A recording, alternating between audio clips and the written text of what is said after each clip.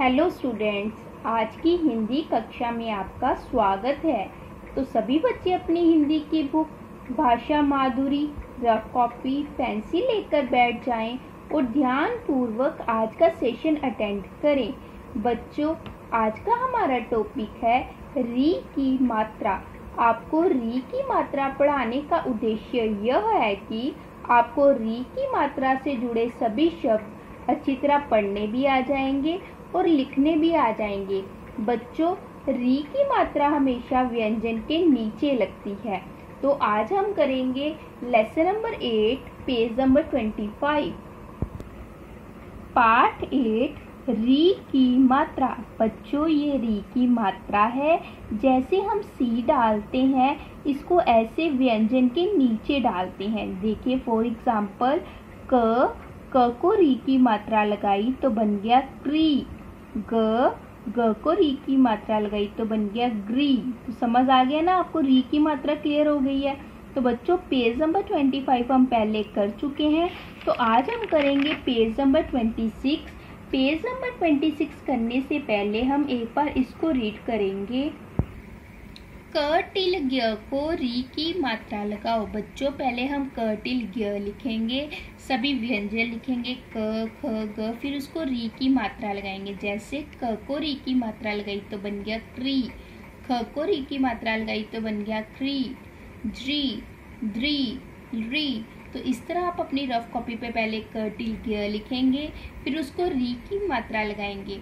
और एक बात बेटा, मैं आपको और बताना चाहती हूँ जिन व्यंजनों को बेटा मैंने सर्कल किया है, इन व्यंजनों को री की मात्रा नहीं लगती।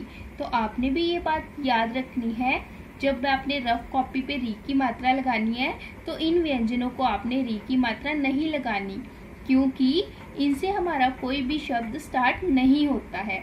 तो आगे हम करेंगे री की मात्रा वाले शब्द। पहले हमने बेटा री की मात्रा लगानी सीखी, अब री की मात्रा वाले शब्द पढ़ेंगे। री तक छुटऊ ऋतु सीज़न री कुश को छुट्टी ऋषि saint S A I N T saint री, चक्को, आ रिचा बेटा रिचा किसी गर्ल का नेम होता है तो हम इसको नाउन लिखेंगे। री श ब ऋषभ बेटा ऋषभ बैल को बोलते हैं ओक्स ओ एक्स ओक्स और ऋषभ बेटा कई बॉयज़ का भी नेम होता है। तो अगर हम बॉयज़ का नेम लिखेंगे तो ये आ जाएगा नाउन तो क्लियर हो गया ना सबको? री की मात्रा वाले शब्द। तो आगे हम आएँगे पेज नंबर ट्वेंटी सिक्स पे। पढ़कर अंतर जानिए। बच्चों, यहाँ पे उन्होंने हमें टू लेटर वर्ड्स दिए, मग। इसके साथ कोई भी मात्रा नहीं दी। और उसके सामने देखिए, म। म को री की मात्रा लगाई तो बन गया मृ ग, मृग, मग, मृग। बेटा, मृग होता है हिरन जिसको इंग्लिश में बोलते हैं deer D double R deer मत मत म को री की मात्रा लगाई तो बन गया मृत। मृत मीन्स बेटा मरा हुआ dead D E A D dead वक्ष वक्ष, व व को री की मात्रा, वृक्ष वृक्ष। बेटा वृक्ष होता है पेड़ tree T R double E tree सजन सजन, स, सकुरी की मात्रा, श्री, ज, न, सृजन।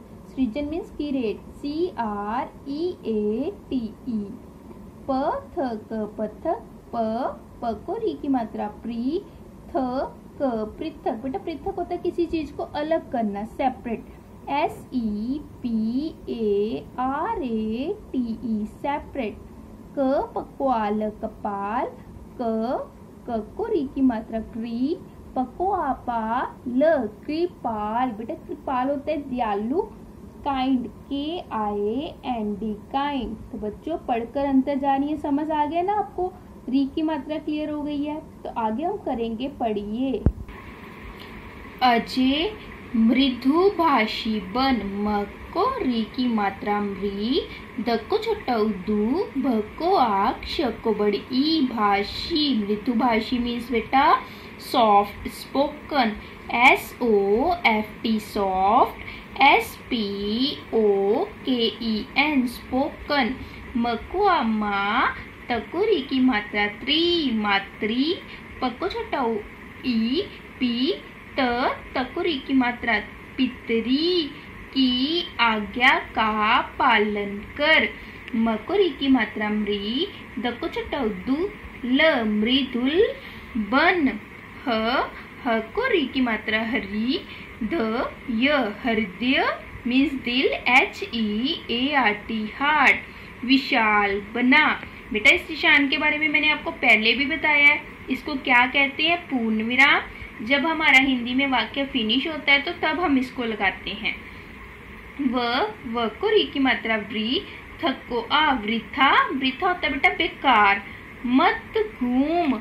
घ घ को, री की मात्रा घ्री, अणा, घृणा घृणा मीन्स किसी से नफरत करनी, hate H A T E hate, मत कर। तरह तरह की आकृति बना। बेटा, आकृति बड़ा आ ककुरी की मात्रा क्री तक छुट्टी ती। आकृति में shapes S H A P S shapes क ककुरी की मात्रा क्री प, अण, कृपण M I S E R miser मत बन दृढ़ रह नृप की आज्ञा का पालन कर। बेटा नृप होता है राजा, किंग। के आए एन जी किंग। बड़ा आ ज्ञ को आज्ञा ओबे। ओ बी ई वाई ओबे। न, दक्को बड़ी ई, नदी। नदी मीन्स रिवर तट तट। बेटा, तट होता है किनारा। पर वृक्ष तथा समीप ही एक कुटिया थी। बेटा, समीप स मको बड़ी ई मी प, समीप means near N E A R near ककुछ टपू, टकुछ टी टी या कुटिया मीन्स हट एच यू टी हट बेटा, समझ आ रही है ना क्लियर हो रही है? ऐसे बाद में घर पे भी आपने रीडिंग करनी है। कुटिया एक ऋषि की थी। बेटा, ये देखो, यहाँ पे पहले लिखा उन्होंने री शको छोटी ऋषि। ये देखो, जो री की मात्रा उन्होंने ब्लू किया क्लियर हो गया ना आपको? ऋषि का नाम त्रिपाल था। ऋषि का एक मृग था। मृग मीन्स हिरन डियर मृग तृण खाता था। बेटा, तृण होता है घास। G R A double S grass तो बच्चों पेज नंबर ट्वेंटी सिक्स की आप घर से फिर से रीडिंग करेंगे। अब हम करेंगे पेज नंबर ट्वेंटी सेवन अभ्यास। एक्सरसाइज नंबर वन री की मात्रा लगाकर लिखिए। बेटा, उन्होंने फ़र्स्ट एक्सरसाइज पे हमें व्यंजन दिए हैं बीच बीच में क, म, त। तो हमने इसको री की मात्रा लगानी है। जैसे क को री की मात्रा लगाई तो बन गया क्री, म को री की मात्रा लगाई तो बन गया म्री त्री, ब्री, ग्री, प्री, ह्री ड्री व्री।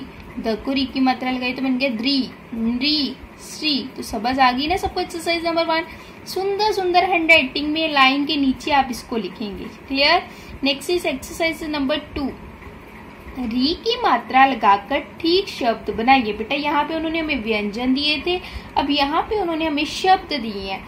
जैसे टू लेटर वर्ड्स म, ग, मग। अब हमने इसको री की मात्रा लगानी है। म म को री की मात्रा लगाई। मृ ग मृग। क पकुआ कप्पा। कृपा क क को री की मात्रा कृपा कृपा अमृत, घृत त्रिषा करित्रिम, तृण, कृति गणित बेटा समझ आ गई ना? Next is exercise number three चित्र देखकर रिक्त स्थानों की पूर्ति कीजिए। बेटा, यहाँ पे उन्होंने आपको पिक्चर्स दी हैं और यहाँ पे फिलअप्स दी हैं। आपने पिक्चर को देख के फिलअप्स फिल करने हैं। ये देखिए फ़र्स्ट चीज़ डैश मत पकड़। फ़र्स्ट पिक्चर देखिए किसकी है? हिरन वेरी गुड पर अब हम इसको री की मात्रा लगाएँगे तो क्या बनेगा? मृग वेरी गुड उस डैश पर चढ़। सेकंड पिक्चर इज़ वृक्ष। डैश की आज्ञा मान राजा नो राजा। हम राजा नहीं लिखेंगे। क्या लिखेंगे? नृप।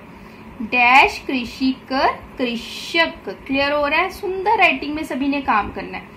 एक्सरसाइज नंबर फोर वर्णों को ठीक क्रम में रखकर शब्द बनाइए। बेटा जंबल वर्ड्स दिए हैं। आपने इसको करेक्ट करके लिखना है। प, नरी, ये कोई हमारा शब्द नहीं बन रहा। तो इसको करेक्ट करके लिखेंगे नरिप कृषक, जागृति, मृत, कृपया, सदृश्य। तो बच्चों, आपको इस पार्ट क्लियर हो गया ना सभी को? सुंदर सुंदर हैंड राइटिंग में आपने ये करना है। तो आज हमने किया पेज नंबर ट्वेंटी सिक्स और ट्वेंटी सेवन घर पर ये आप काम करेंगे और इसकी रीडिंग भी करेंगे और इसके डिक्टेशन वर्ड्स भी अपने माता पिता से लिखकर चेक करवाएँगे। तो अगली कक्षा में हम फिर से मिलेंगे। तब तक के लिए गुड बाय टेक केयर